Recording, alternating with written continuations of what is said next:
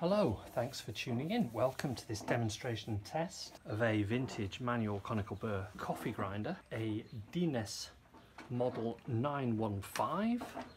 Possibly see the number there on the bottom. Made in the 1930s. This one with a non-original ebonized finish. Test is, as it always is, we're going to take seven grams of coffee beans. We're going to set the grinder to its finest setting which means with the burrs just touching. And we're going to see how the grinder does, both for speed and fineness of grind.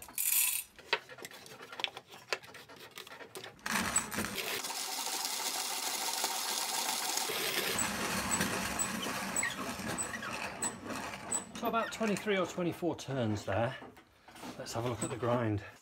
Well, we've got a, a fine powdery grind, compacts very well, so obviously capable of grinding for any coffee maker. If you want a coarser grind, just slacken the adjuster and dial it in.